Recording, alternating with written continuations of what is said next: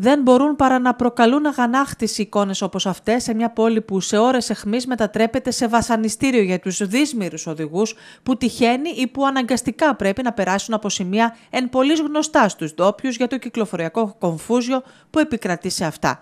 Χαρακτηριστική περίπτωση της πλατητέρας με πρωταγωνιστές τα ογκώδη φορτηγά που κινούνται κατευθυνόμενα από την περιοχή του Κοτσέλα και υποχρεωτικά στρίβουν με κατεύθυνση το λιμάνι ή την εθνική παλαιοκαστρίτσας διερχόμενα από το Σολάρι, όπου επίσης προκαλείται έντονο κυκλοφοριακό πρόβλημα. Και το πρόβλημα θα οξύνεται ακόμη περισσότερο όσο μπαίνουμε στην καρδιά της τουριστικής περίοδου. Βρισκόμαστε σε ένα από τα δύσκολα σημεία από πλευράς κυκλοφοριακού φόρτου σε ώρες και ημέρες εχμή.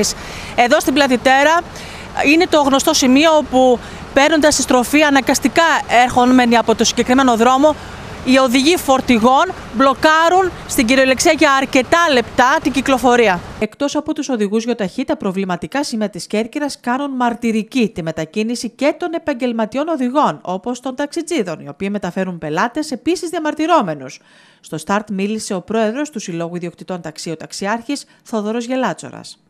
Από τη στιγμή που ξεκινάει η σεζόν, φανταστείτε πόσες χιλιάδες νέα αυτοκίνητα θα βγουν, νοικιαζόμενα, ε, λεωφορεία, τουριστικά λεωφορεία. Εγώ επειδή είμαι στον δρόμο βλέπω ότι είναι συγκινητικές οι προσπάθειες της τροχίας Κέρκυρας να ρυθμίσουν την κυκλοφορία. Ε, υπάρχει πρόβλημα. Το μεγαλύτερο πρόβλημα το εντοπίζω ε, είναι στο δρόμο από στο Σολάρι που ξέρουμε σαν Κέρκυρα.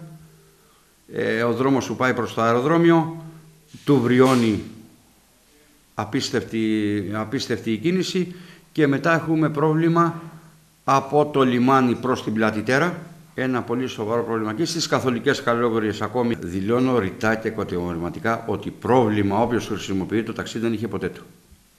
Ούτε να καθι... μπορεί να καθυστερήσει κάπου να πάει ποτέ κανένας στην ιστορία του ταξί της Κέρκυρας και του συνεταιρισμού δεν έχει χάσει ούτε αεροπλάνο, ούτε καράβι, ούτε αστικό, ε, τίποτα. Θα πάνε στην ώρα τους. Ε, καθυστερήσεις, ναι, υπάρχουν.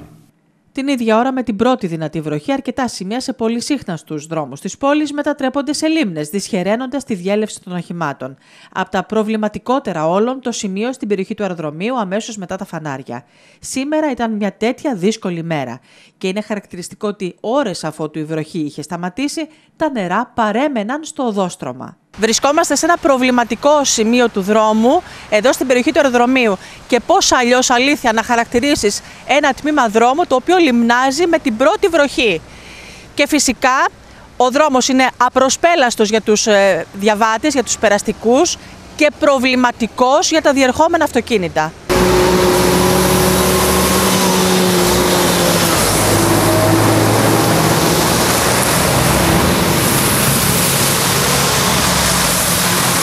Τεχνικά τώρα να το πούμε όπως ε, έχεις πορεία προς το αεροδρόμιο, λιμνιάζει στη δεξιά πλευρά του δρόμου. Οπότε αναγκαστικά τα αυτοκίνητα προσπαθούνται να αποφύγουν τη λίμνη πάνω αριστερά, από την αντίθετη πλευρά έρχονται αυτοκίνητα και εκεί γίνεται ένα κομφούζιο. Να σας πω μόνο αυτό, ότι ε, είναι, είναι πρόβλημα σοβαρό και είναι και επικίνδυνο πρόβλημα γιατί δεν είναι όλοι οι επαγγελματίες οι οδηγοί. Ε, σκεφτείτε ότι επειδή τα αυτοκίνητα, τα ταξί στην Κέρκυρα είναι πετρελαιοκίνητα, μπορεί να σας το επιβεβαιώσει οποιοδήποτε μηχανικός, σε μια σταγόνα νερό να πάει όπως πάει το αυτοκίνητο από κάτω, δηλαδή καταστράφηκε ο άνθρωπος, έπαθε ζημιά 5, 6, 10 ευρώ.